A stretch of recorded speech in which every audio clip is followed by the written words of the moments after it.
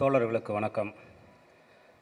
சீமான் அண்ணன் சசிகுமார் சார் பாண்டே தோழர் உள்ளிட்ட மேடையில் இருக்கும் எல்லோருக்கும் வணக்கம். நந்தன் வந்து அந்த படம் பார்த்துட்டு நான் சீமான் அண்ணனோட சேர்ந்து தான் பார்த்தேன்.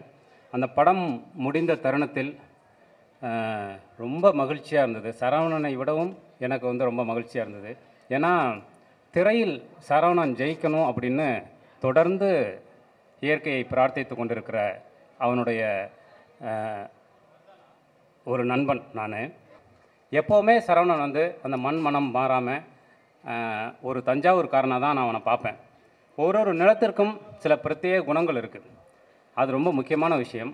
அப்படி தனது மண்ணின் மனத்தை இன்னமும் தன்னோடு எடுத்து வந்து கொண்டிருப்பவன் தான் சரவணன். சரவணன் பற்றி எப்போவுமே அவனோட ஸ்பெஷல் என்னென்னா ஃபோன் எடுக்காதது மாதிரி இன்னொரு ஸ்பெஷலும் இருக்குது பத்திரிக்கையில் வேலை பார்த்ததுலேருந்து இன்றைக்கி வரைக்கும் சரவணன் வந்து ஒரு புதிராகவே இருப்பான். சரவணனை சுற்றி எப்போவுமே கிசுகிசுக்கள் இருந்துக்கிட்டே இருக்கும். அது வந்து சரவணன் ஏன்னா சரவணனுடைய தொடர்பு எல்லாம் ரொம்ப பெரிய இடமா இருக்கும். சசிகலாட்ட நிறைய கோடிகள் வாங்கிட்டான்.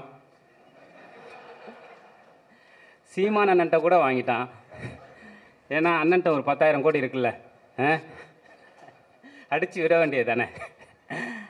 அப்படி வந்து அவனை பற்றி ஏதாவது ஒன்று வந்துக்கிட்டே இருக்கும். அப்போ ஃபோன் பண்ணி ஒவ்வொரு தடவையும் என்ன சரவணன் எப்படி இருக்க? செட்டில் ஆகிட்டியா அப்படின்னு கேட்டால் அதே டீ கடையில் அதே இதோடு இருந்துகிட்டே இருப்பான். டேய் எங்கடா வாங்கின காசெல்லாம் எங்கடா வச்ச? அப்படின்னா ஏன்னா நான் வாங்க மாட்டேன்னு நான் சொல்கிறேன் கொடுக்க மாட்டேங்கிறாங்க என்ன அப்படிமா உண்மையிலேயே அவ்வளவு தொடர்புகள் இருந்தாலும் இன்னமும் தன்னுடைய தனித்தன்மையும் நேர்மையும் மாறாத ஒரு பத்திரிகைக்காரன். எந்த இடத்துலையும் சமரசமற்று நட்பிற்காகவும் அன்புக்காகவும் மட்டுமே நிற்கக்கூடிய ஒரு ஆத்மா தான் சரவணன். அப்படி அவன் திரையிலும் அதே நேர்மையோடு ஜொலித்த ஒரு இடம்தான் இந்த நந்தன். ஏன்னா ஒரு ஈக்குவாலிட்டியை பேசுறதுங்கிறது வந்து சாதாரணமாக பேசுறதுங்கிறது ஒன்று அதை கலையாக மாற்றுவதுங்கிறது ஒன்று ஏன்னா கலையாக மாற்றும்போது ஒரு சமத்துவத்தை பேசும்போது நாம் சரியான அரசியலை பேசணும். ஒன்று யார் பக்கம் நின்று பேசணுங்கிறது ரெண்டாவது. இது ரொம்ப முக்கியமான விஷயம். அது ஸ்க்ரீனில் இன்னும் சொல்லப்போனால் சில உண்மைகளையும் தாண்டி நாம் கலையில் யாருக்கு நேர்மையாக நிற்கிறோம் அப்படிங்கிறது ரொம்ப முக்கியமான விஷயம். ஒரு இனத்தின் பெருமைங்கிறது என்னன்னா குணம்தான். என்னை பொறுத்த வரைக்கும் இனத்துக்குன்னு ஒரு தனி பெருமைகள்லாம் எதுவுமே கிடையாது. சீமானன்னே சொல்வார் மானுட சமுத்திரம் நானென்று கூவு அப்படிங்கிற பாரதிதாசனுடைய பரம்பரை தான் நாம். வீரம் அது மண்ணாங்கட்டி அதெல்லாம் ஒன்றுமே கிடையாது. மனித நேயத்தை யார் ஒருவன் தன் ஈரம் காய் மறை உடல் வந்து சிதையில் போகும் வரைக்கும் வச்சுருக்கானோ அவன் தான் வீரன். அவன் மட்டும்தான் உண்மையானவன். நாலு பேர் அடிக்கிறதோ கொள்றதோ இஸ்ரேல்கிட்ட இருக்கிறது வீரமா? அப்படிங்கிறதான் கேள்வி. நீங்கள் ஹாலிவுட் படங்களெல்லாம் பார்த்தீங்கன்னா அந்த படம் முழுவதும் ஏராளமான கொலைகள் நடக்கும். ஏராளமான பேர் செத்துக்கிட்டே இருப்பாங்க. அந்த படத்தின் முடிவில் இரண்டு அமெரிக்கர்கள் காப்பாற்றப்படுவாங்க. அதுதான் ஹீரோயிசமாக இருக்கும். அதுதான் வீரமா? இல்லை. நாம் யார் பக்கம் நிற்கிறோம்? யார் பக்கம் நின்று பேசுகிறோம்? யாருக்காக நம் உயிரை விடுகிறோங்கிறதா முக்கியமான வீரம். அதனால தான் பிரபாகரனின் வீரம் தலை சிறந்த வீரமாக இருக்கும்.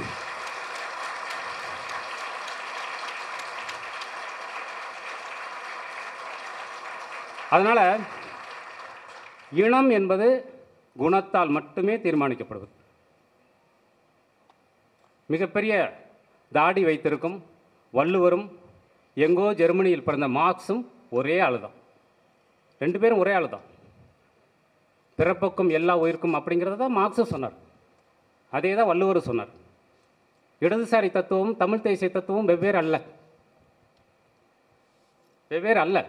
இன்னும் சொல்லப்போனால் மிகச்சிறந்த இடதுசாரிவாதி தான் மிகச்சிறந்த தமிழ் தேசியவாதியாக இருப்பான். அடிப்படையில் சீமான் அண்ணன் கம்யூனிஸ்ட். அவர் ஒரு கம்யூனிஸ்ட். இந்த நிலத்தில் பார்ப்பனர்கள் பார்ப்பனர்களுக்கு அநீதி இழைக்கப்பட்டால் சீமான் அண்ணனின் குரல் முதலாவதாக வரும் என்று நான் நம்புகிறேன்.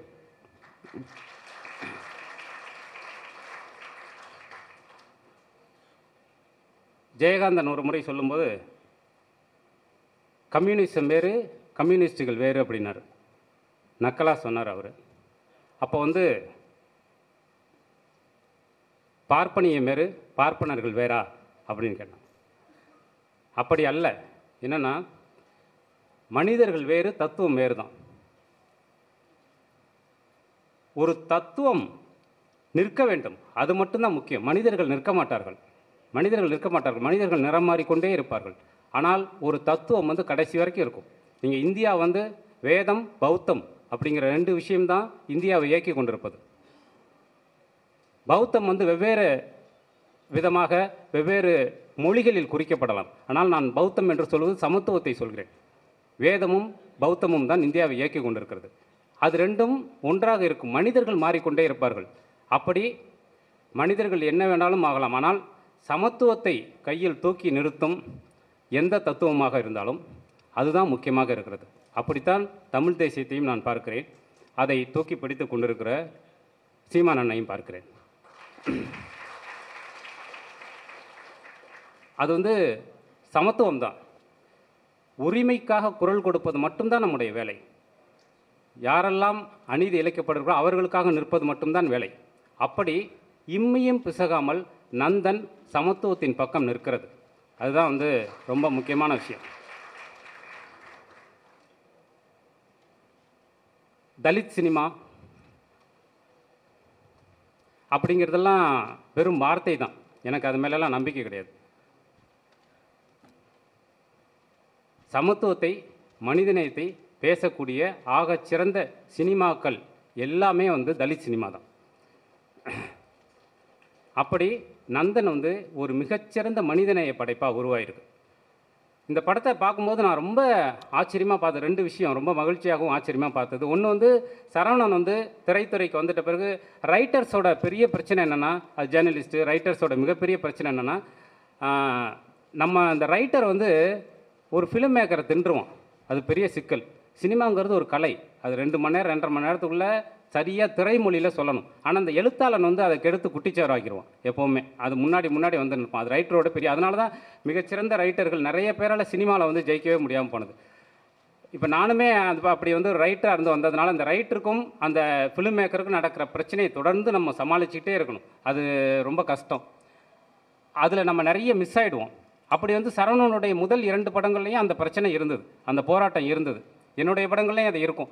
அதை எங்கேயாவது ஃபுல்ஃபில் பண்ணி கரெக்டான ஃபிலிம் மேக்கராக வந்துடணும் அப்படின்னு சொல்லிட்டு. அப்படி இந்த படத்தில் சரவணன் வந்து முதல் இரண்டு படங்களை தாண்டி இந்த படத்தில் வந்து ஒரு ஃபிலிம் மேக்கராகவே ஜெயிச்சிட்டான்.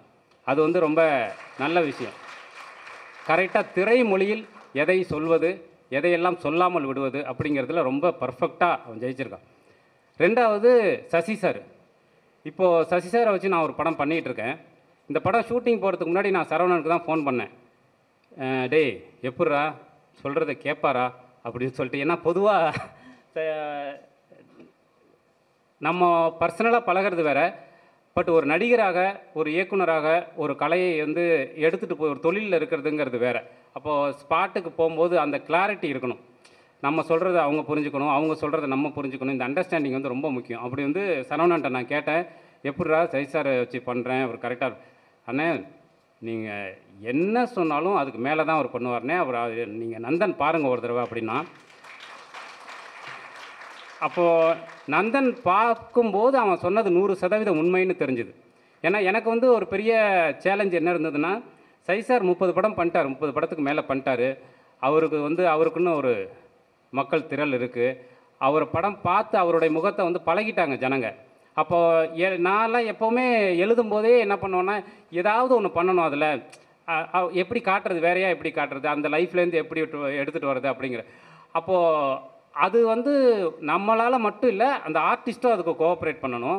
அப்போ எப்படி மாற்றுது ஏன்னா சசிசார்னாலே அவருக்கு ஒரு சில விஷயங்கள் இருக்குது அவர் ஸ்க்ரீனில் வந்து ஒரு சீனில் டவுன் ஆகிட்டாலும் அடுத்த சீனை நாலு பேர் அடிச்சிடுவார் அப்படின்னு ஜனங்க நம்புவாங்க. அந்த ஒரு ஸ்பேஸ் இருக்குது அவருக்கு. ஸோ அந்த இடத்துலேருந்து அவரை எப்படி நம்ம கொஞ்சம் மாற்றுறது அப்படின்னு ஒரு எனக்கு ஒரு பெரிய அது ஒரு எப்படி பண்ண போகிறோம் அப்படின்னு ஒன்று இருந்தது. ஆனால் நந்தன் பார்த்த பிறகு என்னடா இப்படி பண்ணிட்டான் இவன்? இப்படி மாற்றிட்டான் அவரை? அவரும் இப்படி வந்து மாறி நிற்கிறாரு இதுக்கு அப்படின்னு எனக்கு நான் ரொம்ப ஃப்ரீ ஆகிட்டேன் ஏன்னா அந்தளவுக்கு வந்து அவர் வந்து அந்த படத்தில் வந்து அவ்வளோ டெடிகேட்டாக நடிச்சிருந்தார். ஒரு காட்சியில் வந்து நிர்வாணமாக படித்து அடிவாங்க க இடத்துல வந்து அவர் நிர்வாணமாக வந்த அந்த காட்சியில் வந்து கலை தன் முழுமையை அடைஞ்சிருச்சு. அது வந்து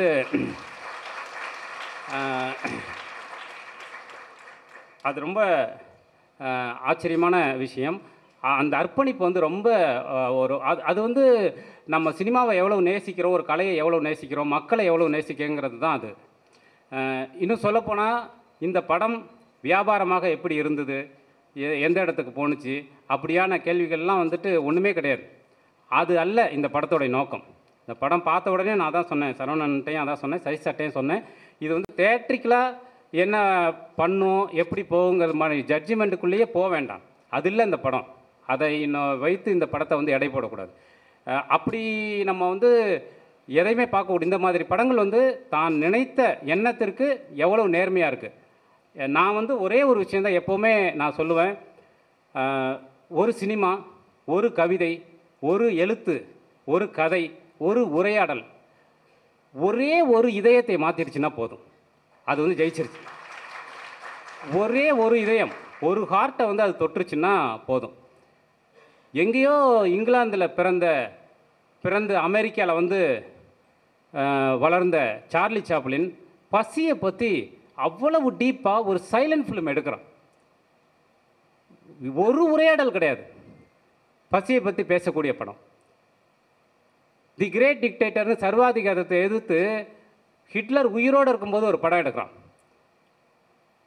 அந்த படம் வந்து நமக்கு கண்ணீரை வர வைக்குது கோபத்தை வர வைக்குது. எங்கேயோ இருக்கிற இத்தனை வருஷம் கழித்து நான் அந்த படத்தை பார்த்துட்டு நான் வந்து கோபப்படுறேன் அழுறேன்னா அதை விட கலையோட வெற்றி என்ன இருக்க முடியும்? அது ஒன்றுமே கிடையாது. தோழர்களே அம்பேத்கர் வந்து ஒரு விஷயத்தை தான் சொன்னார். அரசியல் அதிகாரம் என்பது ரொம்ப முக்கியம். அதிலெல்லாம் மாற்று கருத்தே கிடையாது. அதைத்தான் நாம் தொடர்ந்து பேசி கொண்டிருக்கிறோம். ஆனால் அதையும் தாண்டி மிக முக்கியமான விஷயம் நம்முடைய சீர்திருத்தத்தை மனிதர்களின் இதயத்திலிருந்து தொடங்க வேண்டும் அப்படின்னாரு. ஏன்னா மனிதர்களின் இதயத்தை மாற்றுவது தான் நம்முடைய மிக முக்கியமான பணியாக இருக்கணும் அப்படின்னு நினைக்கிறேன். அதனால தான் எந்த ஒரு போராளி இயக்கமாக இருந்தாலும் அதில் கலைக்கு மிக முக்கிய பங்கு வகிக்கிறார்கள் விடுதலை புலிகள் உட்பட. கலைக்கு மிகப்பெரிய பங்களிப்பை அவர்கள் தருவார்கள். கலைக்கு வந்து ஒரு பெரிய ஸ்பேஸை கொடுப்பாங்க. சீமான் அண்ணனுக்கு நல்லா தெரியும். அவரும் கலையை ஆயுதமாக வைத்து இந்த இடத்துக்கு வந்தவர் தான். ஸோ ஒரு இதயத்தை சீர்படுத்துவது மட்டும்தான் நம்முடைய நோக்கம். இன்னும் ஒரே ஒரு விஷயம் சொல்லிக்கிறேன். பாலாஜி சத்யவேல் சார் இந்த படத்தில் வந்து ஒரு ஆர்டிஸ்ட்டாக தான் வந்தவொடனே சொன்னேன். ஒரு ஆர்டிஸ்ட்டாக வந்து அவர் ஒரு முழுமை அடைஞ்சிட்டார் இந்த படத்தில். அவ்வளவு சிறப்பான ஒரு நடிப்பு. நான் தொடர்ந்து பாலாஜி சாரோட ட்ராவல் பண்ணிகிட்டு இருக்கிற ஆள். அவர் வந்து ஒரு நடிகராக இப்படியான ஒரு இடத்தை அவனோட முழு பரிணாமத்தையும் வந்து நந்தனில் காட்டினது சரவணனுடைய வெற்றி. அது வந்து அவருடைய வெற்றியும் கூட. ஸோ இப்படியான ஒரு அழகான ஒரு டீமை வச்சுட்டு ஒரு இதயத்திலிருந்து நாம் சீர்திருத்தத்தை தொடங்க வேண்டும் என்கின்ற அந்த ஒரு ஆணித்தரமான விஷயத்தை நந்தன் மூலமாக செய்திருப்பது அப்படிங்கிறது மிகப்பெரிய வெற்றி. நந்தன் நீ என்ன நோக்கத்திற்காக எடுத்தியோ அந்த வெற்றியை முழுமையாக அடைந்து விட்டது நன்றி தோழர்களே வணக்கம்.